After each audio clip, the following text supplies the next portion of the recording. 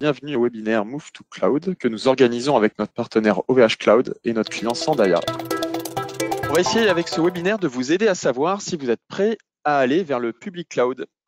Mais est-ce réellement ce dont vous avez besoin? Et Nous allons démarrer ce webinaire par les bonnes questions à se poser afin de choisir son infrastructure et son hébergement. Et puis, nous allons répondre à ces questions à travers le prisme de l'histoire du groupe Sandaya qui a fait évoluer, adapter son hébergement en fonction de leur croissance. Et on terminera ce webinaire par trois exemples d'infrastructures cloud natives par Andri d'OVH Cloud.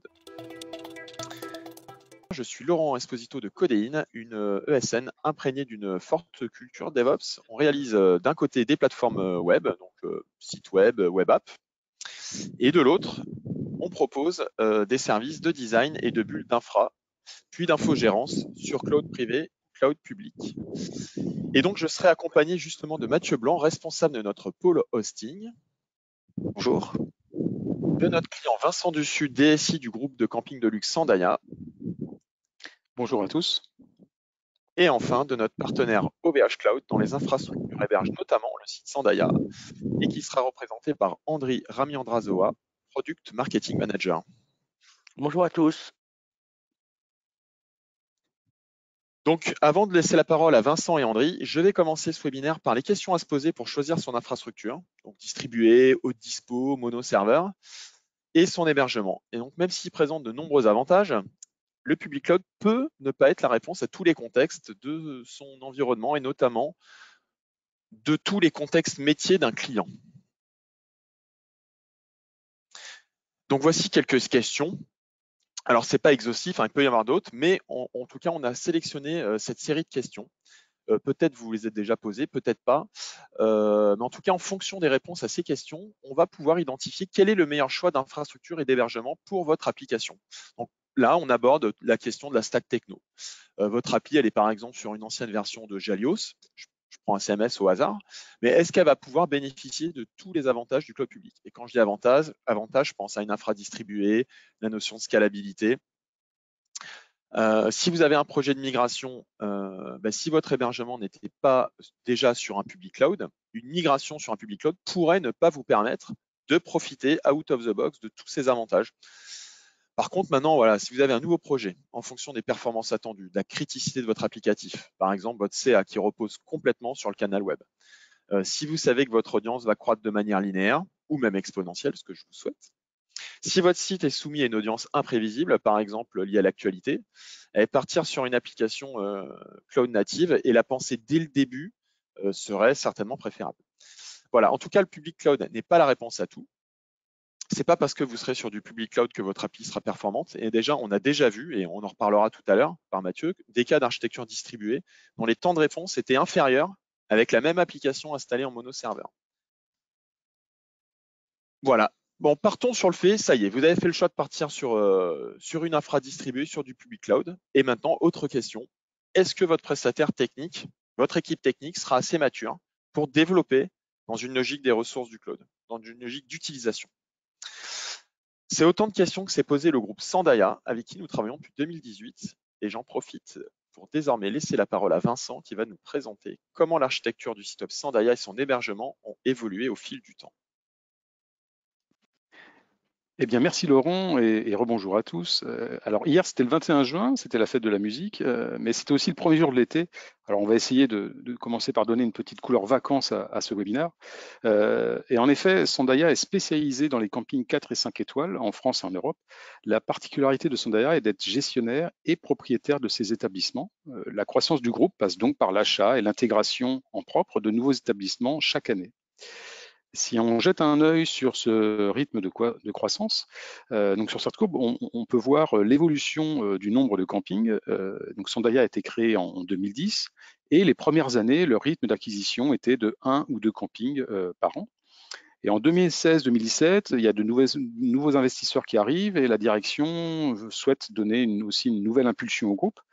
Euh, c'est personnellement aussi en 2007 que je, que je rejoins Sandaya. Euh, et euh, donc, dans cette, nouvelle impulsion implique trois enjeux, impliquait trois enjeux. Accélérer le rythme d'acquisition des nouveaux établissements, changer d'échelle passer de moins de 10 campings à plus de 30 et aujourd'hui 42, ce qui implique euh, rationalisation et industrialisation des process, des données. Et puis le troisième enjeu, c'était d'engager une transformation digitale, la transformation digitale, avec au cœur de la stratégie l'expérience client euh, numérique et le e-commerce. Et donc pour aller un peu plus loin dans ce euh, sujet e-commerce, si on fait un focus sur le chiffre d'affaires, avant 2017, euh, les ventes réalisées via le site web sandaya.fr représentaient moins de 30% du chiffre d'affaires global, avec un CA web de 16 millions. Euh, donc, quatre ans plus tard, le CA web est passé à 85 millions, ce qui représente en 2021 75% du chiffre d'affaires du groupe. Au cours des quatre dernières années, euh, il y a eu un, gros travail de réappropriation des ventes sur notre site web, avec de fait un effet levier sur nos autres canaux directs. donc aujourd'hui, en cumulant les ventes de la centrale de réservation téléphonique, euh, les ventes des comités d'entreprise, en 2022, le CA vendu en direct par Sandaya devrait atteindre 95%, 90-95%. Donc pour atteindre ces chiffres, nous avons travaillé sur de multiples facettes depuis 2017. Il y a eu de nombreux chantiers qui ont été menés, euh, avec évidemment au centre de toutes les attentions euh, le site web. Donc, ce site web, 2016-2017, euh, avec Codéine, on travaille à la refonte du site sur quatre axes, euh, technologiques, fonctionnels, ergonomiques et organisationnels, euh, afin de permettre notamment un cycle de développement continu avec une dizaine de releases par an chaque année. Depuis effectivement 2018, chaque année, il y a une dizaine de releases qui sont, qui sont déployées sur, sur sandaya.fr. Donc c'est à la fois vitrine du groupe, configurateur de vacances pour nos clients, le site sandaya.fr est, avant tout notre plateforme B2C. D'un point de vue technologique, plusieurs facteurs ont orienté euh, les choix d'architecture et de développement du site web. Euh, pas ça, sort peut-être du scope de, ce webinaire. Euh, on va retenir qu'il y a un socle IBEXA, anciennement nommé Easy Publish et Easy Platform, donc, Ibexa, ce CMS DXP, s'appuie sur une stack applicative classique, euh, Nginx, Varnish, Apache et PHP Symfony. Euh, au niveau du storage, il y a Redis pour le cache applicatif et pour la persistance de données, il y a du file system, euh, notamment pour les médias, et puis MariaDB pour les data, texte éditorial. Et il y a deux spécificités Sandaya qui ont influencé et qui influencent toujours le choix de l'architecture et de l'hébergement. Première euh, spécificité, les données pricing, booking et client, euh, eh pour ces données, la plateforme dialogue avec un, système externe via web service. Les données ne sont pas stockées euh, sur, cette, plateforme. Donc, le stockage MariaDB et System contient les données éditoriales et notamment produits. Donc, en pratique, en cas d'incident grave sur sandaya.fr, il n'y a pas risque direct de perdre des données clients. En revanche, l'enjeu, ce serait de rétablir le service au plus vite. Euh, et on peut pour cela utiliser un, backup de, euh, quelle que soit l'ancienneté, 1, 2, 3 jours, c'est pas très grave. le challenge, c'est de rétablir le service au plus vite. La deuxième spécificité, euh, donc alors pour la suite, on va s'intéresser uniquement à la partie droite, donc euh, sandaya.fr, la, partie bleue qui est finalement euh, orange. Et euh, donc dans la deuxième spécificité à prendre en compte, c'est que sur une année, l'activité du camping et de fait du site B2C et de sandaya.fr, cette activité est cyclique. D'ailleurs, pour, l'anecdote, c'est aussi le particulier, c'est que c'est lié, hein, c'est la vente de, biens périssables. en effet, on n'est pas dans le retail, un séjour ce soir, là, s'il n'est pas réservé ce soir, euh, eh bien demain, il c'est même pas, on peut pas le brader parce qu'il n'existe plus. Donc, pour ça, on va dire. C'est la vente de biens périssables. Euh, donc, il y a une cyclicité de l'activité. Et euh, pour en revenir à ce sujet, la, période janvier-juillet, est cruciale en termes de business. Et donc, janvier, juillet, de janvier à juillet, la course est lancée et ce n'est certainement pas le moment de changer le moteur ni le châssis. Donc, s'il y a un changement d'architecture, la seule fenêtre de tir, ce sera, c'est septembre-octobre.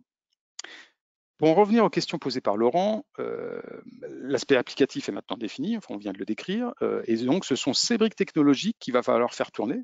En termes d'hébergement, sur quelle plateforme faire tourner cette stack applicative? Quelle infrastructure doit-on mettre en place pour héberger ce site? Avec quel infogéreur? Bah, le plus simple, c'est de regarder quelles étapes euh, bah, on, a suivies euh, chez Sandaya. Donc, la première étape, ça remonte à 2019. Alors à cette période-là, la plateforme était hébergée chez un autre infogéreur. Euh, et côté applicatif, à cette période aussi, on avait de grandes ambitions, on en a toujours d'ailleurs, mais en tout cas, on travaillait fort là-dessus, sur les aspects temps de réponse pour le client. On planchait notamment sur le profiling et l'optimisation de la performance du site. Et à ce sujet, d'ailleurs, il y a un webinaire qu'on a réalisé il y a un an, jour pour jour, et qui parlait justement de, ces performances euh, en termes front-end, en termes serveurs, mais aussi en termes performance éditoriale et euh, comment gérer la croissance du site et euh, la croissance de l'entreprise et gérer cette masse de, données. Donc, quels outils, quelles conceptions de, données mettre en place. Donc voilà, il y, aura sans doute des liens qui font référence à, ce webinaire si vous êtes intéressé par les, questions de, performance et d'optimisation d'expérience client. Euh, donc pour en revenir à ce, sur quoi on travaillait, lié à l'infra, euh, donc en effet on travaillait sur ces, optimisations, mais sur certains aspects on, on rencontrait un manque de réactivité et de maîtrise de la part de l'infogéreur de, l'époque. Et en 2019, on a donc fait le choix euh, de confier bah, ce qu'on va appeler l'étape 1, de confier l'infogérance à Codéine, qui lui-même a fait le choix d'OVH. Donc à ce moment-là, l'enjeu c'était de reprendre ce qui était en place avec donc deux hosts, un host de backup et un host de prod euh, de production qui contenant la, VM de production euh, elle-même faisant tourner donc l'intégralité de la stack logicielle précédemment, décrite. Donc dans cette configuration, les SLA étaient de 4 heures pour retrouver un service euh, dégradé et de 1 à 3 jours pour retrouver le service nominal. Alors le problème de ces 4 heures, voire de ces 1 à 3 jours, c'est qu'en cas de crash, euh, c'est du chiffre d'affaires potentiel de perdu. La question que nous nous sommes posée avec Codéine, euh, ça a été donc de comment améliorer euh, cet hébergement en intégrant les spécificités et avec aussi attention, sans impacter les devs applicatifs, donc sans qu'il y ait d'adhérence et de nécessité de changer quelque chose à, la stack applicative, parce qu'on avait aussi un, plan de charge d'évolution euh, très, très, bien rempli. Euh, c'est donc avec ces questions, ces problématiques que j'ai toqué à la porte de Mathieu, euh, à qui je donne donc la parole. Ouais, merci Vincent. Donc en effet, ouais, nous, a demandé d'améliorer ce délai de reprise d'activité en cas d'incident grave car eh ben, évidemment 4 heures, ce n'était pas satisfaisant euh, pour euh, retrouver un service euh, compte tenu de l'augmentation du CA que, réalisait le site. Donc l'idée de cette étape 2, en fait, c'était de proposer d'abord un test, hein. donc là on l'appelle POC dans, les slides, pour un plan de reprise d'activité, donc un PRA.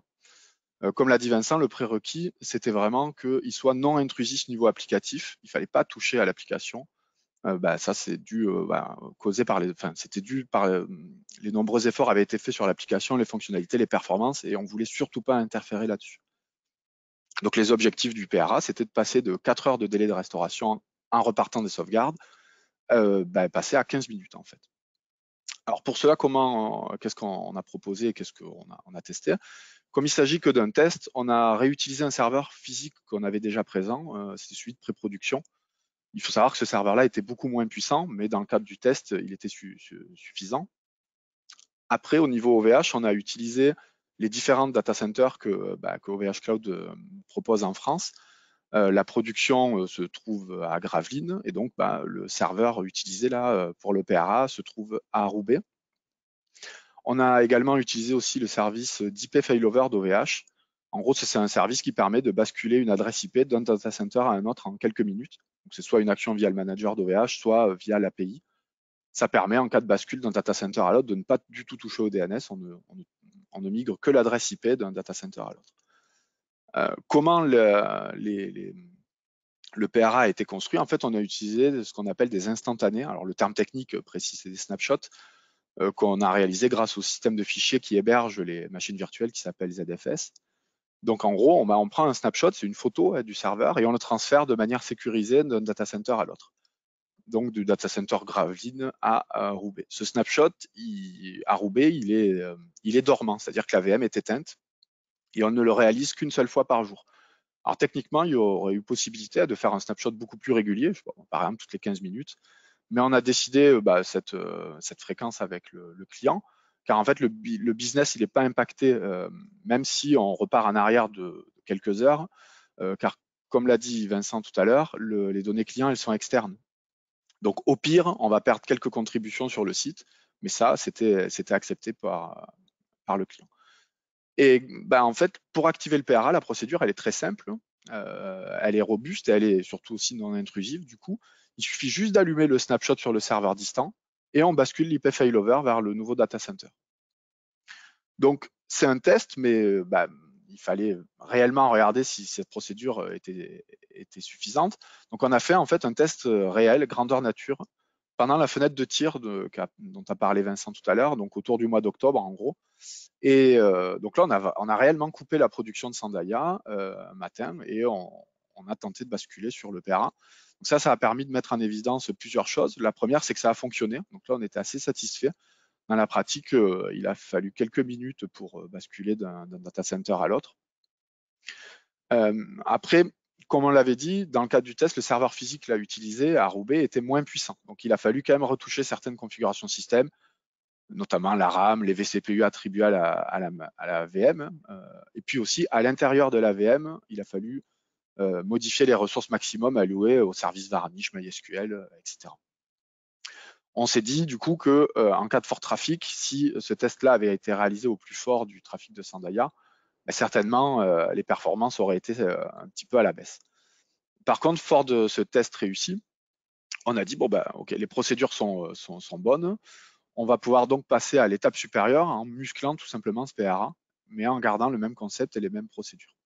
Coup, là, on va passer à, l'étape 3. Et donc, euh, l'étape 3, en fait, c'est simplement de euh, rendre officiel ce PRA en lui donnant un serveur physique à la hauteur des performances attendues en cas de bascule. Donc, on a repris un serveur dans le data center de Roubaix, exactement identique au, serveur de production de Gravelines, et la procédure, elle, euh, reste inchangée. Et donc là, on se retrouve effectivement avec le SLA de 15 minutes euh, en cas de coupure franche sur le data center de Gravelines pour basculer euh, vers le Roubaix tout en retrouvant un service nominal. Alors ça, c'est plutôt, c'était plutôt très positif, mais malgré ce PRA, donc je rappelle, il a été testé et validé. L'application, elle, reste sur une mono VM ou un mono host, si on préfère. Et ça, ça implique plusieurs problèmes. Déjà, le problème hardware, c'est-à-dire que basculer en 15 minutes, c'est très bien, mais c'est tout de même 15 minutes de coupure. Donc, euh, le serveur physique, il peut avoir un problème de carte mère, de RAM. Alors, on est sur évidemment des serveurs professionnels fournis par OVH, il y a double Alim, etc. Il y, a il, y a, du RAID sur les disques, il y a tout ce qu'il faut. Mais de temps en temps, il faut aussi faire des opérations sur le serveur et donc peut-être nécessiter de l'éteindre. Euh, donc finalement, même si c'est que 15 minutes en cas de crash euh, ou d'opération à, réaliser, bah, dans le cadre de la forte croissance du CA du canal web, bah, l'impact pourrait être encore beaucoup trop important. Donc là, je vais laisser la parole à Vincent pour qu'il vous en dise un peu plus là-dessus. Oui, effectivement, sur la courbe, on a ajouté l'histogramme de 2022. Alors, ce n'est encore qu'une projection, l'année n'est pas terminée, mais on sait que déjà, dès à présent, à, la, date où on parle, là, le chiffre d'affaires web, en tout cas, est supérieur au chiffre d'affaires global l'année dernière. Euh, mais bref, donc pour cette projection 2022, on estime que le site web devrait symboliquement dépasser les, 100 euh, millions d'euros. Euh, et en mai, Sandaire.fr générait 4 millions par semaine. Alors, c'est pas réparti équitablement sur la semaine, c'est concentré le dimanche et le lundi et sur le créneau 18h, 22h. Donc, aujourd'hui, sur ce créneau, le CA peut dépasser, euh, peut atteindre 500 000 euros en une heure. Avec la trajectoire de croissance que Sandaya connaît, euh, en 2025, on peut se projeter sur une heure, un million. Ça mérite d'être des chiffres qui, marquent. Euh, donc, et dans une heure, un million, euh, donc 15 minutes de, coupure euh, sur ce créneau, euh, ça pourrait représenter en, 2025 250 000 euros. donc c'est un gros chiffre. Alors déjà, comme le dit Mathieu, le risque d'un incident, d'un plantage d'un monoserveur en premise, bah, ça existe toujours. et par ailleurs, une autre chose qu'il faut prendre en compte, c'est que des campings sont rachetés tous les ans et l'audience, on travaille aussi fort là-dessus, mais l'audience du site augmente d'année en année. Donc en 2017, c'était 2,8 millions euh, de visites. Et en 2022, euh, on devra attendre, atteindre fin août à euh, les, 11 millions. Donc il y a un moment ou un autre, il y a des questions de scalabilité qui, qui vont se poser. donc en parallèle des actions et des étapes présentées, nous avons commencé à imaginer la quatrième étape avec deux objectifs pour sécuriser le B2C. Euh, un, en termes de résilience, comment réduire, voire faire disparaître le temps d'indisponibilité en cas de défaillance matérielle. Et deuxième objectif, comment augmenter la capacité d'accueil du site en accord calqué avec la croissance du groupe avec une métrique qu'on pourrait dire de manière empirique, tous les trois ans, l'audience est multipliée par, par deux. Donc je donne la parole à, Mathieu qui va nous lever un peu le voile de ce que pourrait être cette étape 4. Merci. Euh, bon, bah, évidemment, quand on parle de résilience, d'élasticité, aujourd'hui, il y a un mot qui revient vite, hein, c'est l'utilisation du, euh, bah, du, cloud pour ça. Et donc, bah, c'était toute l'idée de cette, cette étape-là, c'est proposer euh, un passage à une infrastructure distribuée. Euh, au lieu d'une mono VM, là, on, aurait évidemment le service réparti sur plusieurs serveurs et qui s'appuie sur le public cloud de OVH. Donc là, ici, finalement, on a, une, on a un schéma assez classique hein, d'une infra dédiée on a des frontaux d'un côté, euh, donc ces frontaux-là doivent être euh, scalables. c'est-à-dire qu'on, par défaut, on devrait avoir deux, serveurs frontaux, mais on pourrait passer à trois, quatre, euh, voire même 15, pourquoi pas, frontaux sans, problème et à la demande.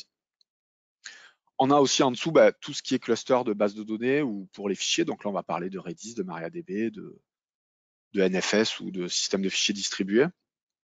Euh, l'avantage ici par rapport aux précédentes étapes, c'est que le prérequis où on ne doit pas toucher à l'application, ce, prérequis-là saute et il y a évidemment nécessité d'adapter cette, application.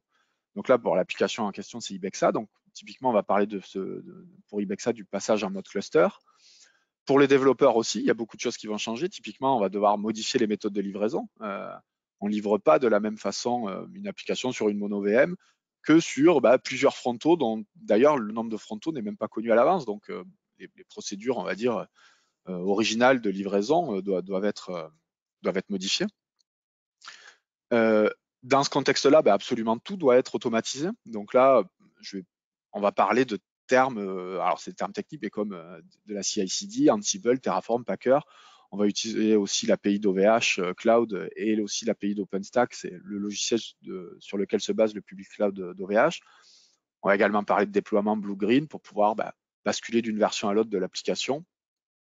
Euh, donc euh, voilà, une fois en plus que tout ça est intégré, c'est-à-dire que bon bah voilà, tout ça fonctionne, il n'y a, pas de problème, il faut tester les performances, car on l'a répété plusieurs fois au cours du webinar, c'est une partie très importante sur le site de Sandaya, c'est pas quelque chose avec lequel Vincent veut blaguer, euh, les perfs du site. Euh, donc euh, le passage en fait à une archi distribuée comme ça, en fait, ça signifie pas paradoxalement une amélioration obligatoire des performances. C'est pas parce qu'on a plusieurs serveurs que d'un coup ça va plus vite. On a déjà vu d'ailleurs nous le, contraire, hein, le fait d'avoir les frontaux, les bases de données ailleurs hébergées sur d'autres sur d'autres hosts, etc., bah, ça introduit de la latence. Et si on a une application des fois qui peut-être fait des requêtes séquentielles euh, SQL, euh, des requêtes euh, séquentielles, en fait, peut-être que ça c'est caché aujourd'hui par l'infra qu'on a aujourd'hui, mais le fait de rajouter les bases de données ailleurs, bah, ça va rajouter de la latence en chaque requête. Si on a 200 requêtes, bah, vous rajoutez la latence fois 200 et là d'un coup, le temps de réponse il explose. Et ça, c'est pas du tout ce qu'on veut voir. Donc évidemment, il va falloir tester tout ça. Donc, une fois qu'on a tout ça, ben, en fait, la plateforme, elle, elle, devient ce qu'on imagine, c'est-à-dire qu'elle devient évolutive et élastique. Elle peut prévenir les hausses de trafic, elle prévient aussi les, pannes de serveurs. L'avantage aussi du cloud, ben, évidemment, c'est qu'on ne paye que ce qu'on consomme, c'est-à-dire que par défaut, on va payer deux frontaux qui seront allumés en permanence, mais si on passe à, 10, 12 pendant, je sais pas moi, le, passage d'une publicité ou, d'une émission sur, sur Sandaya, ben, ce sera l'équivalent de deux heures de payer et puis là, ça s'arrêtera. Une petite note aussi sur la plateforme de PRA là qu'on a fait apparaître euh, sans schéma. Là, euh, ça peut être une réplique de la production, exactement la même chose. Il euh, n'y a, pas de, problème. On peut aussi imaginer une version un peu plus allégée, peut-être une mono VM, hein, comme on a à l'heure actuelle, dont on sait que les performances sont satisfaisantes. Ça, c'est à discuter. On est encore en cours de discussion là-dessus. Un dernier point à aborder, bah, c'est les clusters là qu'on voit en, dessous, Redis, MariaDB, NFS. On peut les créer nous-mêmes, c'est-à-dire chez Codein, utiliser les ressources du public cloud OVH, c'est-à-dire créer des VM, faire nous-mêmes nos clusters. Là, l'avantage, c'est que bah, on, aurait la possibilité de les configurer exactement comme on le souhaite, le, tuner les performances vraiment aux, petits oignons. Bon, il y a une autre réflexion aussi qui s'engage là-dessus, ce serait peut-être d'utiliser les services managés de OVH Cloud là-dessus. Donc, OVH euh, euh, propose des services comme le stockage objet, ce qui nous éviterait de gérer nous-mêmes toute la partie euh, stockage distribué du système de fichiers. il propose aussi les services managés type MySQL, Redis, etc. Ça, on va très certainement le tester une fois qu'on l'aura mis en place, parce qu'à utiliser, c'est pas extrêmement compliqué, mais on, ça sera nécessaire aussi de le tester beaucoup en termes de performance, de maintenabilité, voilà, de résilience, etc. Et donc là, justement, je vais laisser la parole à Andri, euh, bah, qui va vous parler entre autres de ses services managés chez OVH. Merci Mathieu et merci Vincent euh, pour cette partie de la présentation.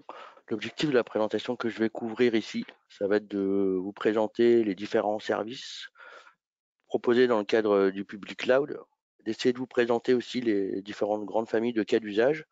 Et à travers des exemples clients, euh, vous allez peut-être vous retrouver dedans. Euh, et ensuite, on répondra à vos questions.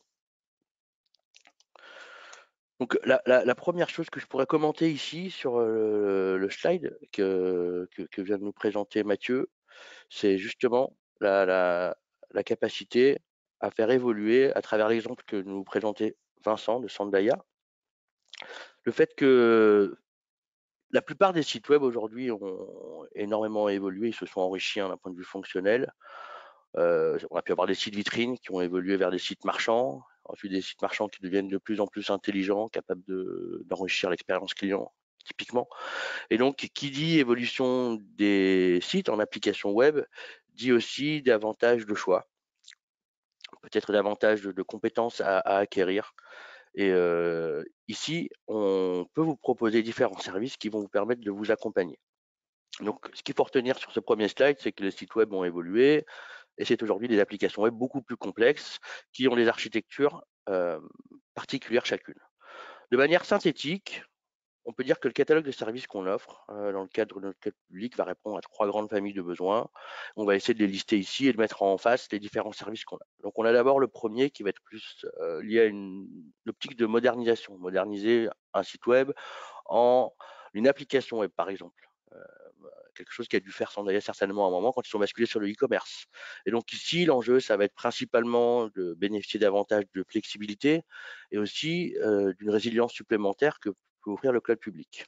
Ça va concerner principalement des applications qui existent déjà, assez rarement des applications nouvelles. C'est pour ça qu'on a mis une croix rouge, mais ça peut aussi euh, parfois euh, être ce type d'appli. Les technologies qu'on va retrouver ici, ça va être principalement donc les instances, donc les serveurs virtuels qui sont disponibles à la demande, et certains types de services managés comme du stockage ou potentiellement des bases de données. On va revenir dessus un petit peu plus en détail après. La partie cloud native, ici, c'est vraiment euh, tirer parti de toute la puissance, toute la partie automatique offerte par le cloud public, sa capacité à passer à l'échelle. Et pour vous qui maintenez des applications web, être capable d'être plus agile, donc plus rapide et plus véloce dans vos cycles de développement applicatif. Donc ça va concerner ici les deux types de populations applicatives, qu'elles existent ou qu'elles soient nouvelles. Et les services qu'on va retrouver, ça va être principalement autour du container, du Kubernetes, avec en filigrane la capacité potentiellement à faire des architectures qui sont distribuées, qui vont s'exécuter sur la base de microservices. Les services managés, c'est presque un petit peu la norme dans ce type d'approche. Et enfin, le petit dernier de notre, euh, on va dire notre catalogue de cas d'usage, c'est tout ce qui va tourner autour de la data et de l'intelligence artificielle. On a énormément investi chez OVH Cloud sur ce type de service et on voit aujourd'hui de plus en plus de nos clients qui ajoutent des fonctionnalités à leurs applications existantes ou qui démarrent de scratch des applications qui, s'appuient sur leurs données et qui les transforment pour les rendre prédictives à, travers de l'IA, euh, du machine learning ou l'analytics. Et donc ici, on va parler principalement de technologies donc autour du data pipeline, je vais en parler un peu plus en détail tout à l'heure, et des modèles, modèles d'intelligence artificielle. Le point commun entre ces différents types de besoins, c'est que c'est quand même des technologies qui sont encore récentes. Euh, on a parlé un petit peu de MonoVM avant avec Mathieu. C'est des choses qu'on voit aussi parmi notre population de clients. Ce besoin d'accompagnement en fait technologique pour faire les bons choix, pour préparer en fait sa mise à l'échelle future, pour préparer aussi l'évolutivité, en fait, les évolutions en fait, qui sont liées aux, fonctions qu'on offre, aux, fonctionnalités, aux services qu'on offre aux clients finaux. Et il peut y avoir aussi besoin de support ou d'infogérance, tout simplement parce que ce n'est pas le cœur de métier de votre entreprise. Et là, euh, nous, on est ravis de travailler avec euh, des partenaires comme euh, Codéine, puisque justement, ils accompagnent de nombreux de nos clients sur ces besoins particuliers et sur l'ensemble en fait de ces types d'usages et sur la chaîne de valeur globale. Je vais rentrer un petit peu dans le détail de certains cas clients pour vous permettre de, vous projeter un petit peu dans ce qu'on sait offrir. Donc, le premier cas d'usage, va tourner autour de la modernisation de ce qui existe déjà, avec pour objectif d'augmenter la flexibilité et la résilience de votre hébergement et des services en fait qui constituent votre architecture applicative. Donc j'ai deux cas d'usage assez opposés finalement. Le premier qui est le plus simple et assez fréquent en fait euh, chez OVH Cloud puisqu'on vient en fait du web à la base. On a beaucoup de gens qui faisaient des sites web, vitrines. Ici on avait un client qui était très représentatif. On a toujours d'ailleurs ce client euh, dans le commerce de proximité qui avait mis en place un portail, euh, un site web vitrine dans lequel il mettait en avant les produits des petits producteurs locaux. Et justement, dans le cadre de sa transformation d'avantage digital, il veut permettre à ces petits producteurs de se mettre davantage en avant et de, par exemple, faire évoluer leur offre sur ce site vitrine. Et là, il a mis en place un portail utilisateur, tout ça sur Public Cloud, parce que j'imagine que ce client a l'ambition en fait de fournir plus de fonctionnalités à ses utilisateurs et à ses partenaires. Donc ça, c'est un usage finalement assez standard, assez basique quelque part, auquel Public Cloud peut répondre. L'autre exemple, quelque part un petit peu à l'opposé du spectre, c'est une entreprise canadienne qui s'appelle Talent. C'est un site de recherche d'emploi, donc qui met en face des rechercheurs d'emploi et des recruteurs avec certains euh, algorithmes qui peuvent appuyer sur du big data. Mais ce qui est important de retenir ici, c'est que c'est ce type de client. On parle de 70 millions de visites par mois. Donc c'est clairement un site qui a très fort trafic et la logique dans laquelle le public cloud est utilisé, c'est principalement pour faire face à des variations de trafic qui peuvent être quotidiennes. On imagine très bien les gens qui cherchent du travail regarder davantage le matin et en fin de journée. Et du coup, on doit faire face à, ce trafic qui augmente de manière subite. Et donc, du coup, l'infrastructure de ce client-là, c'est un mix entre des serveurs dédiés, et les instances publiques cloud qui sont disponibles à la demande pour pouvoir justement faire face au trafic qui augmente de manière pas forcément linéaire. Donc quelques bonnes pratiques qu'on peut retenir de, ce type d'approche. On a listé en haut une architecture très simplifiée des produits et des services que vous pourriez utiliser potentiellement dans le cadre de votre application web.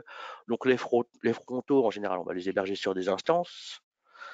L'enjeu pour pouvoir préparer le scaling, c'est de garder ici que les données qui sont donc stateless sans état, et toutes les données qui sont permanentes, les déporter. Exemple, l'object storage, c'est très pratique pour stocker tout ce qui est les fichiers statiques, donc vos images, euh, vos vidéos. Si vous avez une application web qui fait euh, recours de manière massive, bah, ça permet de scaler presque à l'infini. Et ça, c'est vraiment très pratique et c'est très compétitif chez nous.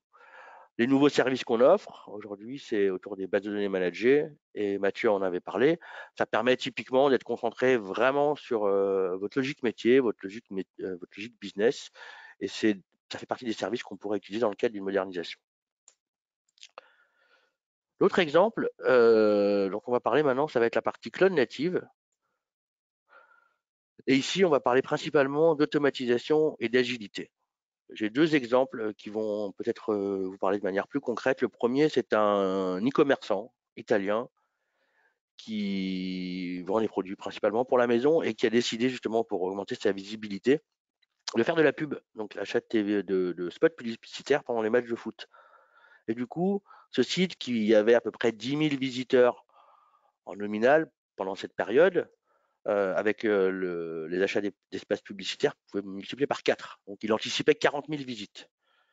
En prévoyant en fait cette augmentation de trafic vraiment brutale sur euh, une période très très courte, il y a une période de refonte en fait d'architecture qui a été effectuée donc par ce client et il a adopté donc depuis maintenant plusieurs mois notre offre de service manager Kubernetes.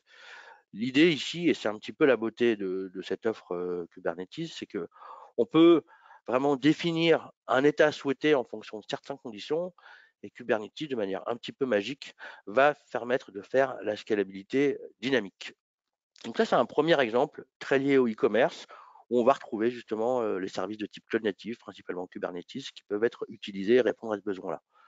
L'autre exemple, c'est un petit éditeur de logiciels qui fournit un moteur de recherche multimodal, donc euh, que ce soit par le train, l'avion, le bus, euh, ou même potentiellement les, bornes de location de vélo, et qui agrège tout ça dans un simple moteur de recherche. Les deux services principaux qui sont utilisés, c'est donc Kubernetes et notre service manager MongoDB, parce qu'il va agréger en fait dans une seule base toutes les différentes informations des différents transporteurs. Ici, ce que je voudrais relever en fait euh, comme bénéfice au niveau de, de, de ce qu'on sait offrir, au niveau de la scalabilité, au niveau de l'agilité, en fait, c'est la masse d'informations. On parle de 400 à 500 millions de documents qui sont stockés dans le MongoDB. Et, on a vu aussi que, par exemple, ce client, pendant les ponts de mai, a, a scalé dynamique, dynamiquement, notamment grâce à Kubernetes, parce qu'il y avait pas mal de besoins et de recherches en fait liés au transport multimodal à ce moment-là. L'enjeu pour lui, pour un client de type éditeur de logiciels, c'est vraiment la capacité à se focaliser sur sa valeur ajoutée. Donc ici, enrichir d'un point de vue fonctionnel, améliorer l'expérience utilisateur de ses clients à travers l'utilisation de ce, moteur de recherche multimodal.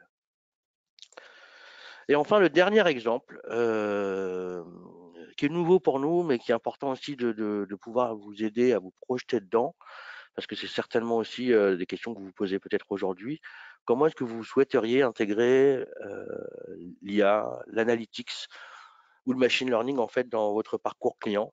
Donc ici j'ai deux exemples. Le premier, c'est un exemple d'éditeur de, logiciels euh, également, donc une startup qui est capable sur la base de reconnaissance de caractère, reconnaissance d'une étiquette, de prédire dans quelle catégorie vous allez devoir déclarer en douane le produit que vous souhaitez importer. Donc là, c'est une application complète, c'est du pur B2B mais ça montre en fait qu'on est capable, sur la base d'une identification d'image, faire une prédiction. Le deuxième exemple, et qui vous parlera peut-être un petit peu plus et qui enrichira peut-être vos possibilités, c'est la capacité à, sur la base d'un texte, à créer une vidéo, image, qui va reprendre le texte que vous avez rentré dans le petite interface. Ça, c'est une solution SaaS euh, anglaise et qui peut euh, très bien s'intégrer euh, sur les parcours web, sur les sites web, sur les applications web euh, de nos clients. Comment est-ce que ça marche? Typiquement, aujourd'hui, on est capable de fournir un pipeline complet de données, depuis la, la conservation, le stockage des données dans un repository centralisé qui sera notre object storage, Hyperf ou pas, et jusqu'à son déploiement en production euh, pour utilisation à travers des applis web ou des applis euh, hébergées dans d'autres contextes. Donc ici, on va utiliser d'abord le stockage des données, donc de manière massive, principalement dans l'object storage, ces données, une fois qu'elles sont entreposées, il faut un petit peu les nettoyer, les labelliser pour les rendre exploitables. Donc, on va utiliser un service qui s'appelle Data Processing, qui est basé sur Apache Spark et qui est disponible à la demande. Une fois que les données elles sont nettoyées, on peut commencer à modéliser, designer un modèle grâce à un produit qui s'appelle iNotebook et qui permet justement de manière expérimentale, itérative, de designer un modèle. Une fois qu'on considère qu'il est à peu près mature, c'est là où va intervenir la partie entraînement et machine learning. Donc, on va imaginer, par exemple, dans le cas de, des, reconnaissances de caractère, reconnaissance d'image par le premier exemple que j'ai pris sur la déclaration en douane, des données qui sont agrémentées, en fait, des photos qui sont agrémentées dans l'entrepôt le, de stockage, qui vont permettre en fait au modèle de s'entraîner et d'être de plus en plus précis en fait dans ses prédictions et ses recommandations. Voilà, c'est ce qui est des choses qui sont faites de manière cyclique et une fois qu'on est prêt, en fait, on a un produit qui s'appelle ML Serving qui permet de le déployer en production. Voilà, l'idée ici, c'était de vous montrer comment est-ce qu'on peut aujourd'hui utiliser euh, les services finalement des couches plutôt hautes de notre public cloud pour faire des services de type euh, AI et data et machine learning. En conclusion de cette partie, euh, je voulais juste euh, revenir sur qu'est-ce que vous avez aujourd'hui dans notre catalogue public cloud pour moderniser, adopter Cloud Native et passer un petit peu à l'automatisation ou à l'échelle ou potentiellement exploiter la valeur de vos données. Vous avez toute une couche en fait de stockage qui est aujourd'hui vraiment transverse, qui va dépendre du type de données que vous souhaitez conserver. On dispose aujourd'hui et on propose plus de 12 bases de données différentes qui vont de la simple relationnelle MySQL Postgre aux non relationnelles comme MongoDB ou Kafka, euh, ou même par exemple M3DB pour tout ce qui est time series. Donc là, c'est vraiment lié à votre logique métier, votre logique applicative. Et enfin, on va avoir sur la partie modernisation la capacité d'utiliser plutôt euh, l'environnement OpenStack, qui va être les couches d'infrastructure, sur laquelle on peut déployer ou on a déployé nous en fait notre Kubernetes, donc je serai dans une logique beaucoup plus cloud native, avec euh, un recours plutôt euh, standard à nos API. Et enfin, les couches très haut niveau côté AI, qui s'appuient sur nos solutions d'intelligence artificielle, donc du stockage jusqu'à leur exploitation en production. Voilà pour ma partie, j'espère que c'était évocateur pour vous. Je vais repasser la main à Laurent pour la conclusion de ce webinaire. Eh bien, merci André pour ces retours d'expérience et cette présentation des solutions OVH, vos services managés, vos API on aime utiliser pour nos clients, pour leur faire bénéficier de tous les avantages du public cloud que vous proposez. On a pu voir grâce à l'exemple du groupe Sandaya que beaucoup d'éléments euh, contextuels avaient influencé le choix de l'infrastructure et du choix de son type d'hébergement. Le contexte applicatif tout d'abord, euh, une version Ibexa non installée en mode cluster. Euh, le contexte de l'existant, migration versus création, le contexte de la croissance de Sandaya avec la priorisation de la roadmap applicative, le contexte saisonnier qui réduit les possibilités en termes de planification. Donc voilà, on a pu voir dans tous ces contextes comment Codeine Sandaya et OVH ont réussi à trouver euh, des solutions pour pérenniser l'infrastructure et anticiper pas à pas l'avenir. Et à ce sujet, euh, on peut aller encore plus loin que l'étape 4 présentée tout à l'heure, qui était euh, relative à la mise en place d'une infra distribuée sur le public cloud OVH, et une piste d'évolution future qui est d'ores et déjà à l'étude par Mathieu et Vincent pour encore plus de résilience en effet, une, piste pour encore plus de résilience. Euh, on peut se poser aussi la question d'aller encore plus loin, oui, mais, pourquoi? Alors, si on revient un instant au, bilan, euh, donc pour faire face à la croissance de l'entreprise, on peut apporter de la scalabilité avec du multifront et du cloud. Pour réduire les temps d'indisponibilité face à des défaillances matérielles, on a exposé la stratégie de PRA, PCA, et ce qui permet de retrouver un service nominal en 15 minutes aujourd'hui et pas loin de 0 minutes demain. Euh, mais il y a un cas qui n'est pas couvert, car euh, toutes ces solutions s'appuient sur les services d'un unique opérateur. Donc, il reste un cas, c'est en cas d'incident opérateur global réseau. Alors on pourrait se dire, bah, il suffit de prendre un, partenaire de confiance. Alors oui, mais en réalité, si on regarde sur les dix dernières années, tous les opérateurs majeurs euh, ont rencontré un incident avec un blackout général de l'ensemble de leur réseau service. Euh, et dans ce cas, toutes les sécurités décrites euh, sont inopérantes, le multifront, le PCA, le PRA. Et au niveau du temps de rétablissement, eh bien, on devient complètement dépendant du temps de rétablissement opérateur. Et donc pour Sandaya, si c'est une heure de blackout, une heure, on a dit, en 2025, c'est un million de pertes de CA direct et de notoriété. Donc, est-ce qu'il y aurait des moyens de lever ce dernier risque? Alors, avec Codéine euh, et avec Mathieu, on a commencé à une réflexion sur un plus long terme, euh, en, se, posant, en imaginant une architecture euh, hybride, redondée, distribuée sur plusieurs, enfin déjà deux opérateurs différents et totalement découplés. Alors vous allez me dire, ouais, si les deux opérateurs tombent en panne, il faudrait faire ça sur trois opérateurs. Ouais, alors à un moment ici, il faut s'arrêter, parce que de toute façon, s'il y a deux opérateurs majeurs de, l'Internet qui tombent en panne simultanément, ça veut dire qu'une bonne partie de l'Internet est cassée et que l'urgence euh, du moment n'est probablement pas de, réserver des vacances.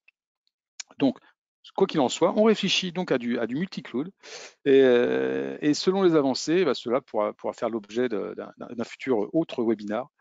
Pour en revenir à celui-ci, on, arrive à, la fin et on a beaucoup parlé de risques et d'incidents.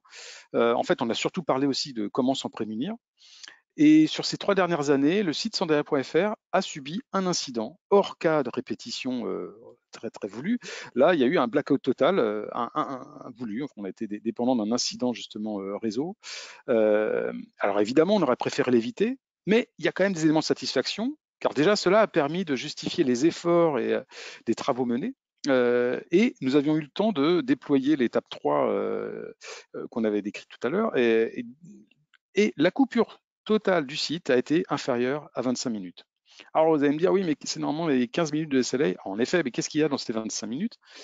Eh bien, déjà, il y a le délai de détection de l'incident, il y a un, élément aussi de diagnostic, et puis il y a aussi le questionnement, mais en fait, combien de temps va, durer cette coupure Donc, en fait, il y a eu 20 minutes de prise de décision, c'est, dire, le temps de pragmatisme, et ensuite, une fois qu'on a pris la décision, on bascule, eh bien, ça a nécessité moins de deux minutes euh, techniquement pour basculer euh, le front euh, grâce à l'IP failover, comme Mathieu l'avait décrit. Donc, je tenais vraiment à remercier Codéine et OVH, déjà pour le taux de disponibilité du site, qui est plutôt bon, et par la pertinence des échanges et des actions menées ces trois dernières années. Donc, merci à tous. On va conclure ce webinaire. merci pour votre attention. Euh, le webinaire sera accessible en replay, bien évidemment. Euh, et puis, bah, pour la suite, n'hésitez pas à nous contacter sur le formulaire de contact euh, du site Codéine, du d'OVH, sur LinkedIn, pour échanger sur votre infra. voilà, on a également des articles dédiés au hosting et aux performances sur notre blog. N'hésitez pas à les consulter. Je vous remercie encore Et puis, je vous souhaite à bientôt. Je vous souhaite une bonne après-midi. Au revoir. Eh bien, bonne journée à tous et, et bonnes vacances.